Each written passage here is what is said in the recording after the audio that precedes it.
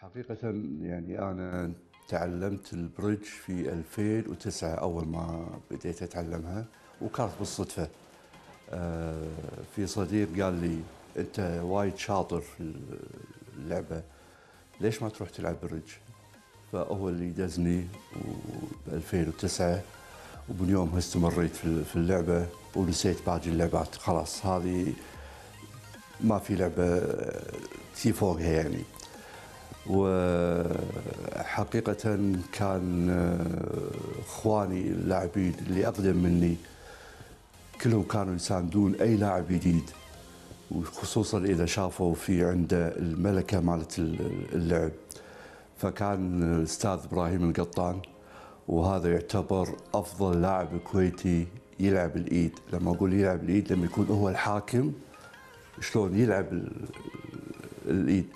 واستاذي نعمان التركي من أفضل لاعبين في تكنيك اللعبة واللي أذيته من كثر ما أسئلة لدرجة إنه مرة كان في المستشفى بلندن أدق عليه أقول له صار كذا كذا شنو الصح شنو الغلط؟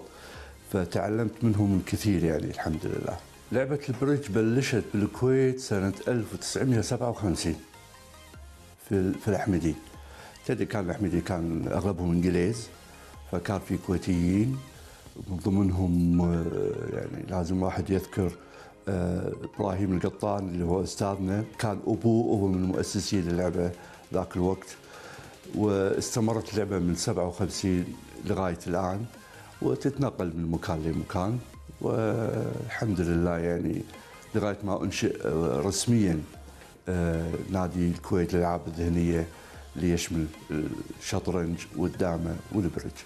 آه، لعبة البريدج طبعا في أكثر من رواية بس الرواية الصحيحة أو الأقرب إلى الصحة انها هي لعبة اخترعها البحار الإنجليز في 1800 وإذا ما لي غلطان 87 طبعا كانت بدائية وتطورت واستمرت اللعبة في تطورها لغاية آه، ما الاتحاد السويسري أنشأ اتحاد آه، سويسري للبريدج أول اتحاد آه، في العالم وسنة 57 58 1958 صارت لعبة عالمية. بالنسبة لقانون لعبة البريدج علشان سهلها على المشاهد والمستمع الأغلبية الكويتيين يعرفون الكوت. الكوت جزء من لعبة البريدج اللي هو تحكم وشلون تلعب بس مو بنفس الطريقة لكن هي جزء منها. يعني أغلب اللعبات اللي يعرفونها الشباب اللي يلعبون كل لعبة تلقاها جزء من لعبة البريدج فالبريدج هي اللعبة الشاملة لكل هذه اللعبات.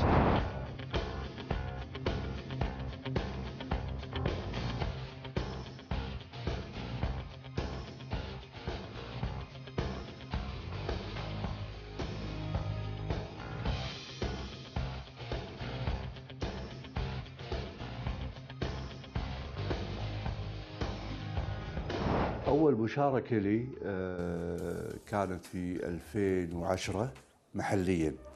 في بطولة آه، تقام حول العالم يلعبون كل اللي بالعالم الأندية اللي بالعالم كل الدول اللي بالعالم نفس الأيادي اللي تلعب. يعني اللي إحنا نلعبها نفسهم اللي يلعبونها برا. كانت لي هذه أول مشاركة. وأول مشاركة خارجية كانت آه، هم في 2010 في اليابان. في آه، ولو كانت رحلة متعبة آه، لكن الحمد لله يعني كانت تعطي خبرة شوية في اللعبة. الصعوبات اللي واجهتني أنا أقدر أقول الشيء الرئيسي هو عدم وجود مدرب. فلازم تعتمد على ذاتك في التعليم. آه، ما في كتب اضطريت إني أسافر أشتري كتب علشان أقرأ وأتعلم. بالإضافة إلى إخواني اللاعبين اللي اللي هريتهم بالأسئلة كل يوم أسألهم ليش القطة كذي ليش اللعبة كذي ليش الحكمة كذي ف يعني شخصيا لأن حبيت اللعبة بديت أثقف نفسي فيها لغاية ما وصلت إلى مستوى أنا مرتاح له حاليا. يعني آه، من المواقف المضحكة عندي الأخ نعمان التركي الله يعطيه العافية أذيته وهريته بالأسئلة. فكان في فترة كان مريض مسافر آه، لندن.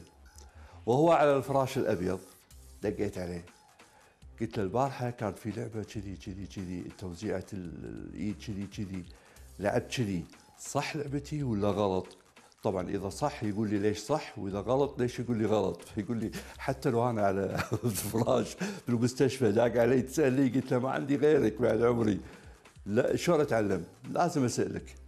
طبعا مثل ما قلت لكم أنا إن اللعبة هذه بدأت في 57 وكان محاولات كثيرة من قدامى انه يصير إشهار لنادي البرج آه، لكن مع الأسف ما صار لغاية 2010 أو بداية 2010 آه، لما إشهروا نادي الربع ميل أنا تكلمت في الإذاعة وكلمتهم على الموضوع ووعدونا خير وتم تغيير آه، اسم الاتحاد الكويتي للشطرنج إلى نادي الكويت للألعاب الذهنية واللي يشمل على ثلاث لعبات الشطرنج والبرج والدامه فمن يومها صار آه، نادي الكويت للألعاب الذهنية هو الراعي الرسمي لهذه الثلاث لعبات وإحنا من ضمنهم. وعندنا لجنة تنسيقية من ثلاث أفراد لاعبين ينسقون مع النادي في أي موضوع كان.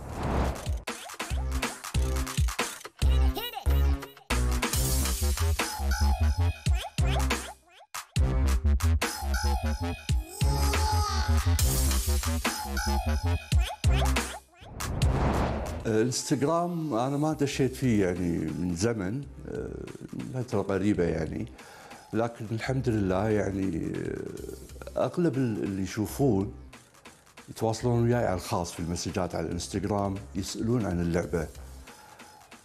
إذا كانوا بالكويت يحاولون يجون شلون نجي ونلعب اللعبة وإلى آخره. وإذا برا يستفسرون يعني ايد معينة مثل يكون كل واحد مبتدئ فبيسال كذي كذي كذي أشرح له. فيعني في متابعين ما أبي أقول متابعين ملايين مثل ما بعض الناس لكن الحمد لله يعني في ناس دائما يتواصلون وياي يعني عن طريق الإنستغرام. بالنسبة حق المشاركات المحلية آه، في عندنا بطولة دولية اللي هي حول العالم آه، تقام كل سنة طبعا ما عدا في سبب الجائحة ما ما صارت لكن كل سنة في شهر ستة في أول weekend من شهر ستة تقام حول العالم كلها يلعبون نفس الأيادي. آه وفي سنويا النادي آه يقيم آه بطولات صغيرة محلية تشجيعا للاعبين ومحاولة استمالة بعض الوجوه الجديدة يجون يشوفون يستمتعون ويدشون ويانا باللعبة. مشاركاتي الخارجية بدأت مثل ما قلت من 2010 في اليابان واستمرت يعني اليابان، تايلاند، بولندا، بلغاريا، دبي كذا مشاركة. وصراحة اللي اللي فاجأني إن الناس يجون حق الفريق الكويتي. زين أنتم عندكم فعلا نادي حي البرج وعندكم لواعيب. ويجون يشوفون مستواكم يعني وايد زين في في اللعبة. وينكم من زمان؟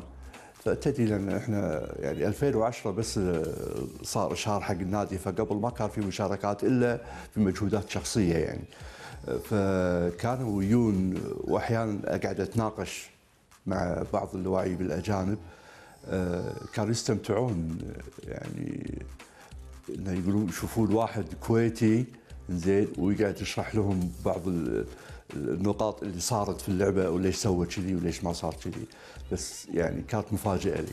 الجوائز اللي حققتها آه، حققت المركز الثالث في بطولة تايلاند وحققت المفاجأة في أول بطولة المحلية اللي شاركت فيها آه، حققت المركز الثاني بالكويت و السابع والثامن في آسيا و134 على العالم كله.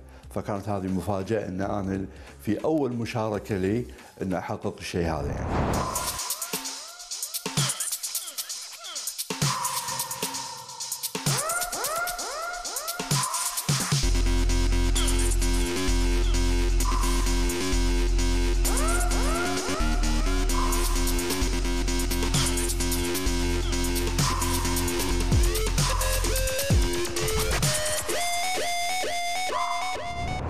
بالنسبة حق لعبة البريدج أبي أفاجئكم مفاجأة. آه، في سنة من السنين كنت في أمريكا. وطبعا قبل أروح سويت اتصالاتي من هني أشوف أجرب نادي حق السكني عشان أروح ألعب.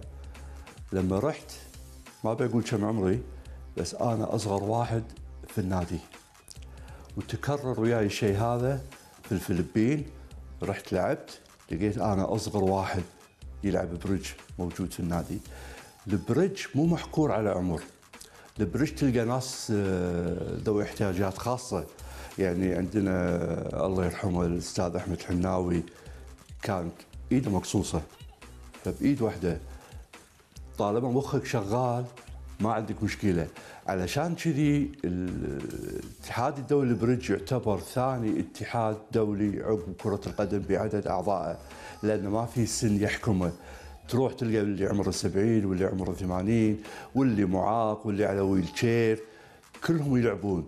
لأن اللعبة هذه تنشط خلايا المخ فتخلي مخك دائما والدراسات أثبتت إن إذا ما تأخر تقلل الإصابة في مرض الزهايمر. فعشان كذي في بعض الجامعات المادة هذه تدرس كمادة اختيارية. في مدارس يعطونهم مادة البرج علشان ينشطون خلايا مخ الطفل وتخليه أقوى خصوصا في مادة الرياضيات. فشيء حلو يعني.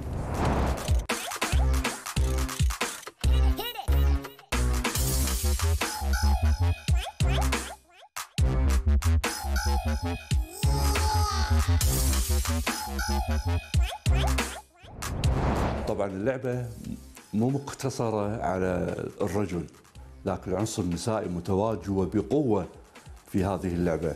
خصوصا يعني قلت مثل ما قلت لك الأعمار ما تحكم. تلقاهم يعني الأغلبية كبار بس يكونون بلشين قايمة وهم صغار يبلشون يلعبونها يعني. فشيء جميل لما تشوف الاثنين موجودين آه، لأن عندنا الميكس اللي هو واحد ووحده ضد واحد ووحده. أو الحريم طاولة كلها حريم أو طاولة كلها ريايين. أو كيفكم؟ ريال حرمة مو مهم. بس العنصرين موجودين وبقوة في في هذا هذه اللعبة. امنياتي إن شاء الله إن أول شيء يكون في مدرسة لتعليم البرج وأمنية ثانية إنها تكون موجودة في المدارس ولو نلقاها صعبة لكن يعني على المدى البعيد يكون وايد فيها استفادة حق الطلبة والطالبات صغار السن. أه وأتمنى يكون في مدرب أه عالمي أه متفرغ زين حق اللعبة يكون موجود بالكويت علشان ننشئ أيضا أه، مو ننشئ إنما نجذب اللاعبين الصغار انه يتعلمون يصيرون لاعبين عالميين إن شاء الله.